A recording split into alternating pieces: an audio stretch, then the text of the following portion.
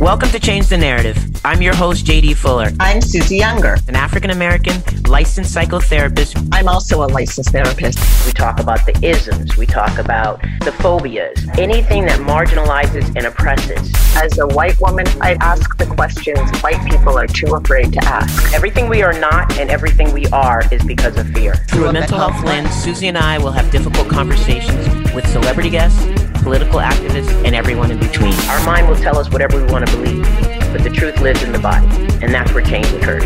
Are you ready to change the narrative? Our next guest today is passionate about America keeping its promise to liberty and freedom. He believes that the basis of so much of our injustice is based on the devastating ruling in, the, in 1968 on the Supreme Court case Terry versus Ohio, which we're going to talk about today. His website, deletelawz.com, spells it all out for us. He's commanding an audience and people are listening. Welcome, Chille DeCastro. Hey, thanks for having Thanks, me. Chille. Happy to have you. Thank you so much for being willing to come on the show today. I want to uh, have you introduce yourself to our audience. So tell us who you are and where you're from. Uh, my name is Chille de Castro. Me llamo Jose Maria de Castro, pero en los Estados Unidos is Chille. My friends called me Chille growing up. I learned Spanish in my 20s. My father spoke Spanish and didn't speak English, so I had to learn Spanish to communicate with him. Uh, I was raised in a very small town in Alaska that is has its fair share of loud vocal racists and loud vocal authoritarians. I had a lot of problems growing up because I have severe ADHD. I have OCD, obsessive, I mean, can't tell. And, and also because I was the only one of two Latino kids in the town and one black kid. I was in a hundred fistfights through high school. I mean, when I say a hundred, I'm not joking. So I have a unique story with bullying where I was bullied till I was 12 and then I became a, a very good wrestler and then I beat up all the bullies who beat me up. So I have a unique path that other people didn't get to live, but I did. At 25 years old, the police no knock raided my house. I know exactly who told them. I know who their confidential informant is. I don't want to give him any light. I know what he did. He knows what he did. He lied to the police and told them I was a drug dealer. Because I had been teaching MMA and fighting MMA, when the police followed me around based on a confidential information tip, when they saw me go to MMA practice, that then warranted them, validated them to no knock raid my house. The first time they raided me was a knock announce raid, which is from Ker versus California of 1963. Knock, knock, knock, police, police, police. They have to wait, they're supposed to wait 15 seconds, burst down my door. That was the first time. I told them everything. I was naive about what the police system was like. I told them everything. They told me kids were dying, I told them everything. So then the second time they came back a month later, I had told them that I would gladly turn myself in. They no knock raided me the second time. And that experience, just I could tell you a lot of other stories, but I think for the purpose of this particular podcast, I think that a lot of people, that's the reason why I'm here now, because it formed who I am today. And when you're not secure in your home, respect to the Fourth Amendment, that'll that will affect you for the rest of your life, as it has me. So, um, wow. so you know, people identify me as being white. When I was prosecuted for five felonies for the words I said to Chief of Police Michael Moore, who was a detective then, they said during the opening arraignment at five o'clock in the morning down at Twin Towers, they said, Your Honor, Mr. DeCastro comes from a long family of drug dealers. And because he's Colombian and his father was in the drug business, we feel like he's a high flight risk. Though there was no evidence seized against me, there was no evidence, possession evidence. They gave me a two and a half million dollar bail because I'm Colombian. So that's why if you ever watch any of my things and someone says, I don't understand racism, they left me in a dungeon for a week based on the concept that because I'm Colombian, I must be a high flight risk. I didn't know my father that. So, so anyway, so I can keep going on and on, but I just wanted to, that's the story and story of my life. And the reason, if you ever see some salt dog, you know, salty dog come out of me, when people tell me I don't understand racism, that's why, you know, so okay. just so you guys know. Well, I knew you were interesting, but that sure does fill in a lot of gaps for us. And I appreciate you uh, going there. You know, I was going to ask you who you were 10 years ago versus who you are today. You kind of talked about it. Would you go into that a little bit more in depth? 10 years ago, um, 10, who was, who was I 10 years ago? That's a great question. 10 years ago, I, I, moved to Hollywood, California. When the police no knock raided me, that derailed my acting career. I had been booking, I booked a series, I booked a Pepsi commercial with Britney Spears, I booked a Sea-Doo commercial national, I booked a national this. I was just on fire. I was very open and gregarious and very loving and would let everybody come to my house to have a party, bring whoever you want. I didn't have a no guys list. In LA, there's always no guys list. Mm-hmm. So so then I became very popular with, with the guys. Hey, Chille, we'll let everybody come to his house. Absolutely. I'm not intimidated by another man just because he's another man. And that's that's that's the LA way a lot. So um so I was pretty open. And then that jaded me to the core, that no knock raid. So 10 years ago, I was I had I had I had written a book on sociology, a textbook that was hypersexual situations within social cliques. I had done a 10 year study on sexual communications within a social clique when a hypersexual situation happened. In other words, if you know, if we're dating and we're in a clique and then one of we break up or we don't break up and one of the friends in the clique dates you, what happens to the clique? So that's what I was doing 10 years ago.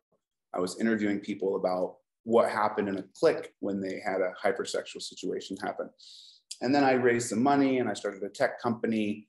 Um, and the technology business, just so you know, you're going to have less than a 1% chance of having any kind of successful business. And, and I'm not making excuses for myself.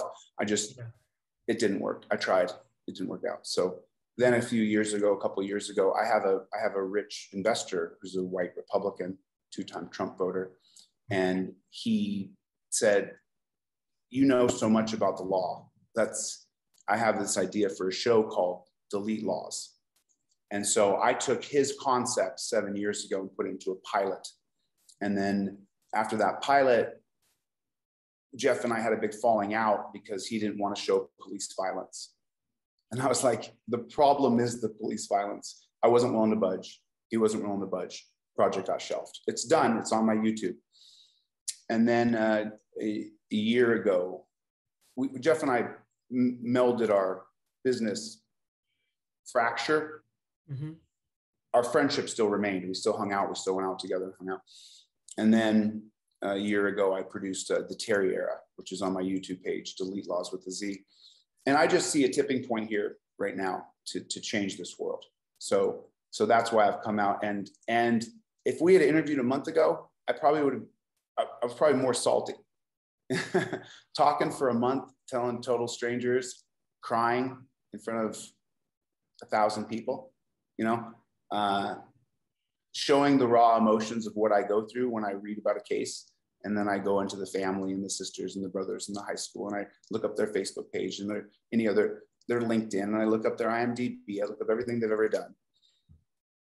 Um, and showing that vulnerability, I'm a real A personality, egotistical, macho male. Um, there's no other way to say it. And so, so you know, literally crying in front of people um, and telling the story of being no knock rated has made me a happier person. yeah. I'm, I'm, if we had interviewed a month ago when we first talked, I, I, would, I, I, was still dealing with the fact that I hadn't really told very many people that the police had no knock rated me. And I still had a lot of these feelings as though, you know, in my own personal family, a lot of people still think, and they told me to my face, you must have done something wrong for the cops to know knock raid your house twice. the, yeah. the guy who was the confidential informant was a celebrity. So they were working for their money. They were working for the big business. So, so that's the reason. That's just a little kind of a nutshell of, of how I got to here. Yeah. You know, without without being no operated, without Breonna Taylor being murdered, without Jeff Lloyd coming back and saying, I believe in you. Let me give you some more money to produce some more content.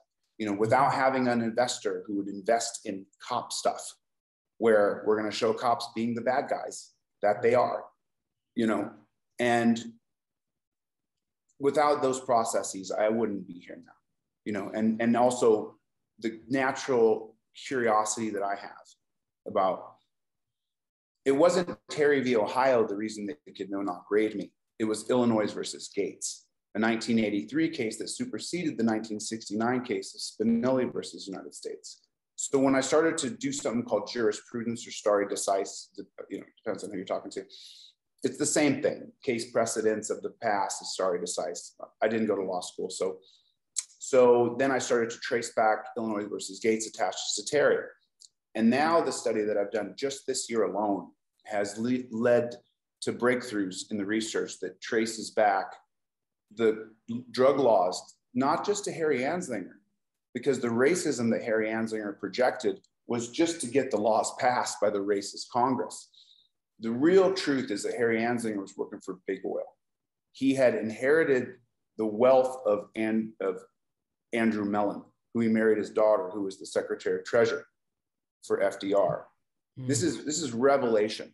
If people are seeing this and they don't know what I'm talking about, our entire penal system, criminal justice system, the reason why your friend goes to jail for marijuana today is because of capitalism. J.D. Rockefeller, the Standard yeah. Oil Company, tracing all the way back to Harry Anslinger getting a piece of one of the subsidiaries of Standard Oil. And then because he was in the head of the Federal Narcotics Agency, he then created law based around making sure that hemp couldn't compete with the fossil fuel industry and the pharmaceutical industry he had inherited from Andrew Mellon by marrying his daughter. So revelations in understanding our criminal justice system. Well, I think what's interesting about that is you actually answered three questions in one because I was going to ask you, you know, why are you so passionate about uh, the activism? You answered that, but also I was going to ask you, you know, what came first? You know, the uh, the capitalism in terms of how we see it running the judicial system, or the judicial system, and you just you know kind of collapsed that all into one and made it really easy to understand. Is there anything you'd like to add to that? Um, I don't know how much of a visual you guys will get I don't know how much of a visual you'll get from my Zoom camera here on my on my laptop. But the, the real truth is you just you, you can the reason I built this is to because I want to spit my brain on the wall to show literally racists who say that there's no such thing as institutional racism. Unfortunately, I can prove it. There is. But Standard Oil was broken up in, in, in 1863. Mm-hmm. And now what's going to happen is it, it starts in 1863. It's going to be broken up in 1911 so now, as you guys all know, the way it works is rich people control the legislature, legislature controls the policing. It's a, it's a, it's a, it's a layer cake. So yeah. when Standard Oil gets broken up in 1911, now you have dozens of rich white men who have stock and own ownership of fossil fuels. Now these rich white men are going to look down in Mexico and over at the Indian hemp industry and say, we don't want that over here. They passed the Harrison Act in 1914, just three years after Standard Oil gets broken up. Then all these guys, because they've made it so you have to get a tax license for hemp, you can't really get hemp in but marijuana is as popular as ever in 1914 as it is today. So now, right here, the League of Nations is going to ban marijuana in 1925. Why did they ban cannabis in 1925? For what? Because the League of Nations, all those countries are experimenting using hemp as, a, as an energy source. Okay. So now you can go down the Wrights and Elizabeth Wright and what she does at the League of Nations and her, her direct connection to J.D. Rockefeller. Remember, Rockefeller may have broken up Standard Oil, but he was still the chairman of the board. He still had a vested interest. So Rockefeller gives $10 million to the, to the Egyptian Museum of Cairo, $10 million in 1926. Really? What's the, do the math on that. What's $10 million today? For a museum? Is that what he did? Mm-hmm. Really? Okay, okay, sure. So then now, now here's the really ironic part. Here's the really ironic part. So this is Andrew Mellon here. Andrew Mellon, he's going to, Harry's going to marry his daughter and he's going to diversify his money into Lammot DuPont and William Randolph Hearst. And then J.D. Rockefeller is going to die in 1937. Andrew Mellon's going to pass the Marijuana Tax Act and die in 1937. And this is the link I try to tell to all people. This is where Harry goes crazy. He's inherited the fortune of his father in law. Now he's going to make damn sure that hemp can never get a breath. So now he incorporates the FDA, he incorporates the World Health Organization, and in 1961, at the single convention on narcotics of drugs that he hosts in Manhattan, flies everybody in, puts them in the Waldorf. They all agree marijuana is the devil drug. So as now it's internationally criminalized. 63, we stop, we start procedural law, common law to kick your door down based on the Kers being marijuana dealers. The exigent circumstances clause is then going to be invoked again in Terry v. Ohio. Exigent meaning that loss of life could be the officer's life or yours. And the cops are helping people by grabbing them. They're helping you. So wait, so I want to stop you there because that's exactly where I was going to go next. Because you had some thoughts that we shared in uh, our communication about. Um, I'm just going to see what it was. Okay, so it's like you said, you know, no justice, no peace, and defund the police. It's not where the focus should be. So say something about that because you brought me right to the point where I want to be it's just the most counterproductive thing I've ever heard. You know, and at first we had to say it. We had to brand the Black Lives Matter. Mm-hmm. They don't. To this government, they don't. Now, today, they don't. No, they don't. They I don't. Agree. If JD right now gets killed on camera, unless there's a big outrage, everybody's talking about, yay, George Floyd got justice. There never would have been justice without a camera. Exactly. You know, so, so this idea that Black Lives Matter. Okay. Now we need to shift the page. Martin Luther King Jr. saw legislation signed. What legislation is BLM asking for? Don't give me a laundry list of crap. Give me the tip of the spear. Show me where the police interaction happens with the person on the street.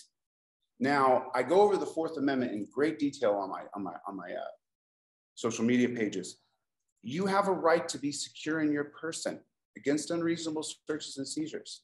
Terry v. Ohio passed in 68. What was going on in 61, 62, 54, 55, 56? It was passed so that cops could grab black people, just straight up. White people weren't getting grabbed unless you were poor, dirt poor, and you worked in an assembly plant where there would be an uprising. You didn't get grabbed. You just didn't. Just like the 1911 Sullivan Act, it didn't apply to your gun rights does now, does today. Same, same law from 1911 that was only passed against Black people is now applied to all people. That says you have to get permission from the president of the police bureau to get gun rights. So, JD, you, I'm not a Black savior, okay? That, this idea that I did this for Black people, I did it selfishly for me. And then realizing that the, all the laws were crafted against Black people, and I, I do have a deep affinity for black people. A couple best friends in my life for years have been black. they still are my best friends. So, so it, you you have to change the message, JD. It's the only reason I'm on your show. I'm only here right now to infect your brain, to infect others. And maybe someone sees me and say, "Man, this crazy Colombian guy." Fine, I'm crazy.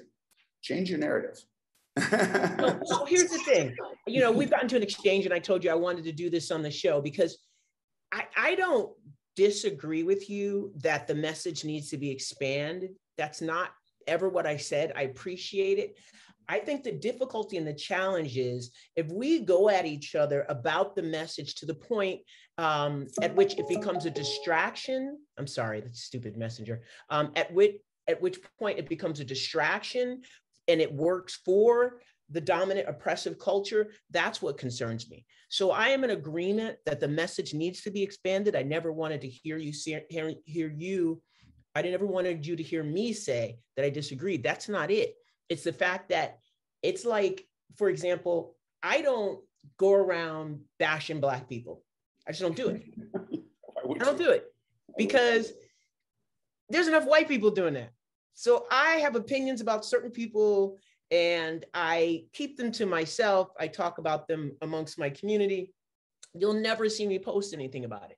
And that's that reason. I feel the same way about us and what we're talking about. We can't be out publicly talking about, no, change the message.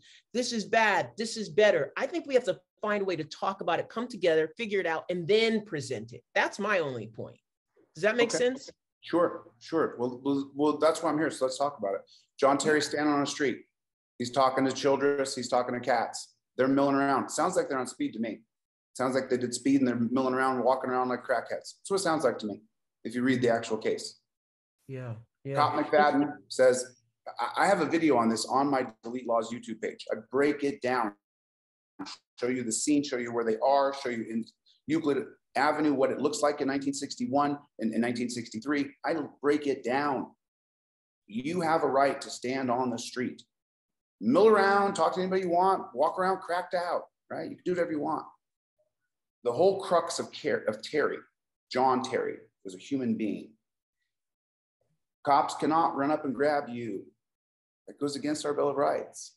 You have a right to be free in your person. That's a guarantee by the Bill of Rights.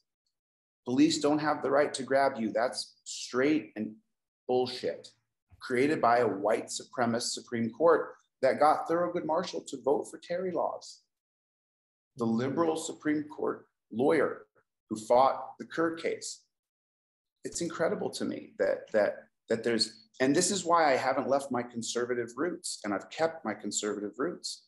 And a lot of people will say I'm a I'm a conservative, and then the people who are conservatives will tell you I'm a flaming liberal. Yeah, we it's not. I don't got to get you, JD. Mm-hmm. We got to get the white conservatives who want to fight for liberty. And then you got to get the you got to get the urban youth, black people to start to say overturn Terry. That has to become the resounding, the tip of the spear. I watched 20 videos yesterday. The cop walks up to him, says, I'm suspicious of you. That's a Terry stop. I keep on hearing it, walking while black, walking with dog, walking, driving while black. Mm-hmm. Those are Terry stops. Yeah. Let's start to identify them properly so that we know what the to go after legislatively. You know, and so that's the problem, right? Because as you said, they're all in bed with each other. Everybody has a sellout factor when it comes to politics. Politics, we know that. And so the reason why there's a, you know, stop Asian hate bill and there's not a, a stop Black people hate bill, it we know why you know politically lobbyists uh, the community has figured out that that's a way to not anger so as many people as if they talk about reparations and a bill that stops um, hate against black people. We get it. So how do we get how do we get a lobbyist? How, how do black people get somebody who's going to gain some some traction the way white gay males did for for for gay marriage like what what do you say is the the solution? It's going to be legislation. You're going to have to start in a liberal state like California, um, New Hampshire, live free or die. Uh, uh, I don't. I'm not sure how we're going to. I'm building the momentum. That's what I'm doing. I'm my, I make everybody go through the website. I give them three ebooks. I give them three wall graphics. Anything I can give them to get them to sign up on the website so that I can build up a list of people. And when you get an email from me, it says this is not a drill, because I send out emails every week. If the email says this is not a drill, it's time to march. And we're not going to march for another hashtag. Not going to march for another Jim, Jim Johnson, Eric Garner, Sandra. We're not going to march for another one. What's the point? We keep on doing the same thing over and over. I've built this to show you guys we keep on repeating history. We have three police commissions. They all say police are lawless. They need an external third party. Why don't we do that? Yeah. The, enough with the civil litigation payouts in New York alone. It's crazy. Oh, it's 500. Okay. We, so I, this is why I can't subscribe to the left. This is why I can't do it.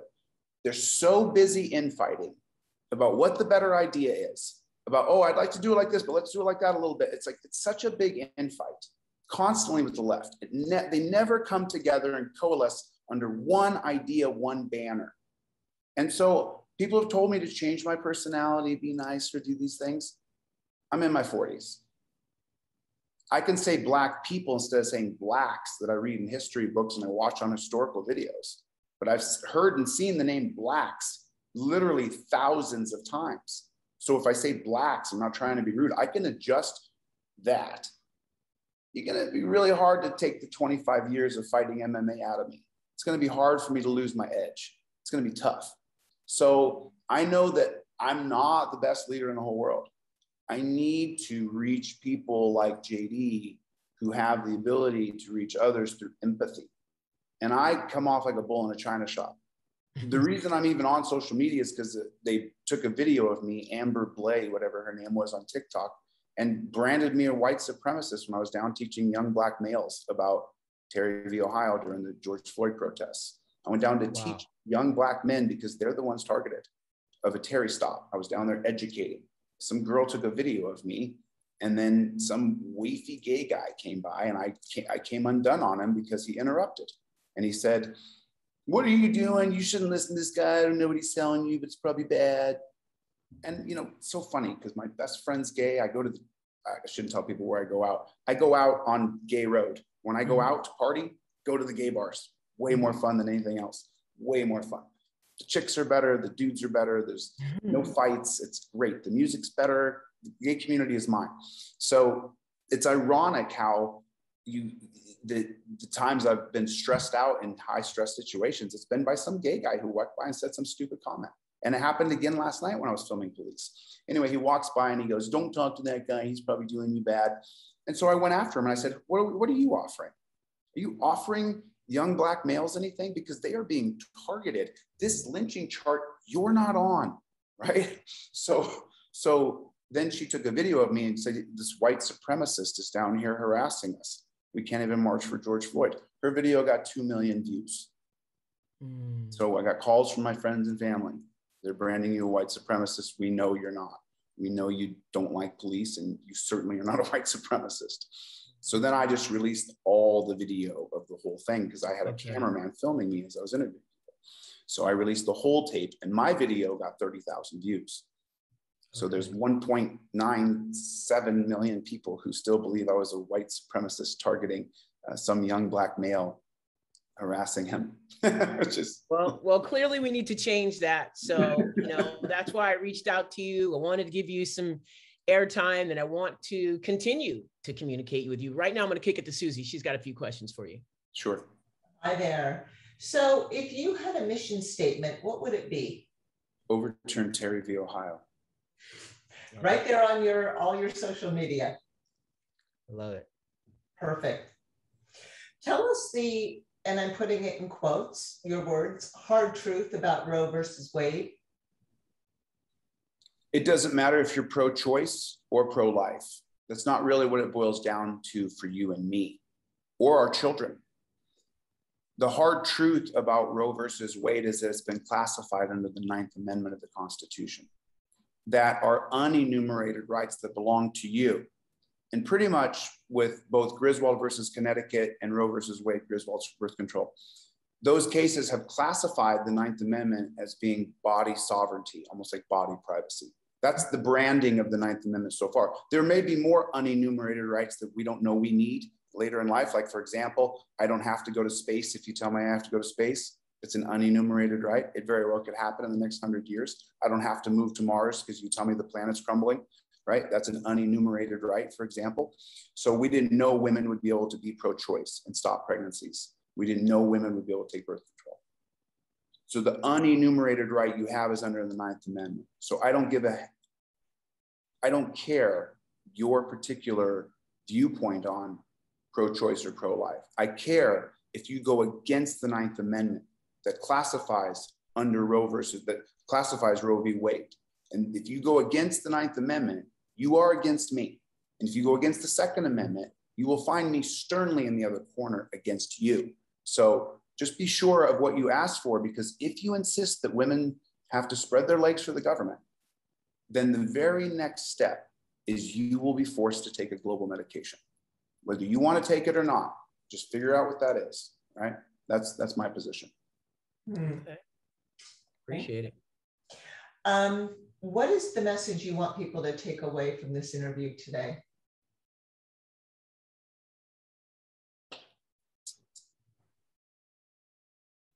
I want you to talk to your friends about Terry versus Ohio. I've, I've taught fundamentally that Terry v. Ohio has supplanted and replaced your Fourth Amendment right. So the Fourth Amendment says it's the right of the people to be secure in their persons, houses, papers, and effects against unreasonable searches and seizures, shall not be violated. So what that means is that you have a right to be free. And if you don't talk to your friends that they put officer safety being more important than your right to be free, and here's how I prove it all the time. Tennessee versus Garner, 1985. Wilson versus Arkansas, 1995. Both of these cases are based on the constitutionality of a seizure or a breach of your home, both under the Fourth Amendment. You have a right to be secure in your person, you have a right to be secure in your home.